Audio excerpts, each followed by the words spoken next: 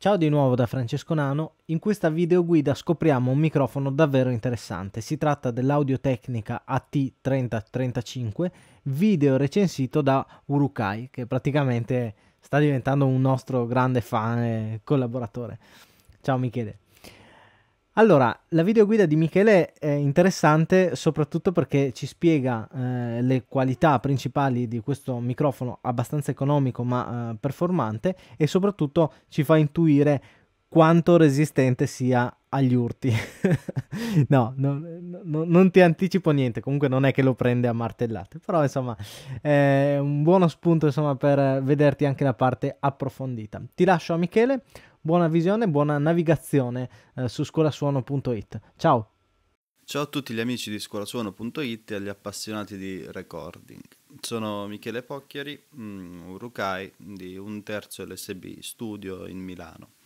Se volete altre info potete consultare la scheda profilo um, su scolasuono.it.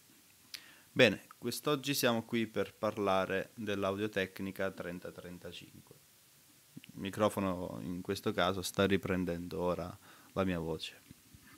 È, ehm, nulla, è un economico e versatile microfono dell'audiotecnica, eh, un'aziendina che mh, mm, ha sempre mirato a prodotti mh, mm, accessibili a tutti gli home project studios mm, relativamente a con prezzi contenuti e qualità abbastanza elevate, insomma, buona qualità.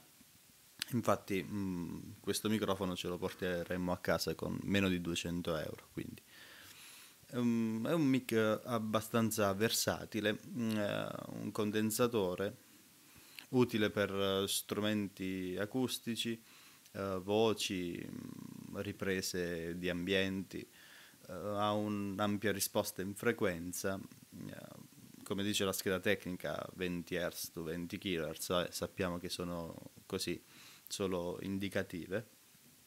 E nulla, mh, mm, al pattern polare di tipo cardioide.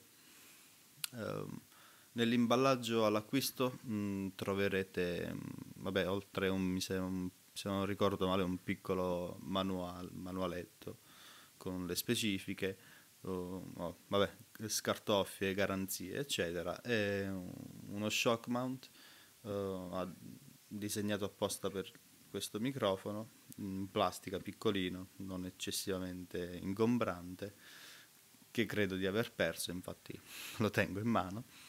E, e nulla, anche un borsello da viaggio che dovrei avere qui. Ecco, un borsello abbastanza pratico, imbottito. Sì, abbastanza imbottito, comodo per trasportarlo. E nulla, il microfono. Um, eh, il microfono è molto robusto, um, è molto robusto. Um, sul retro ha due features, due, un taglio per le basse. Qui e un pad d'attenuazione di 10 di 10 decibel. Può sempre essere utile magari nella ripresa di sorgenti con troppa presenza in bassa frequenza che può magari far saturare l'amplificatore o per appunto tagliare se ci sono sorgenti che hanno un impatto in dB troppo forte magari che il microfono non riesce a supportare vai magari in clipping. Um, nel video di approfondimento uh, vedremo un po' tutte le caratteristiche mh, mm, del microfono vedremo la scheda tecnica cercheremo di capire alcune cose su questo genere di microfoni quindi a condensatore.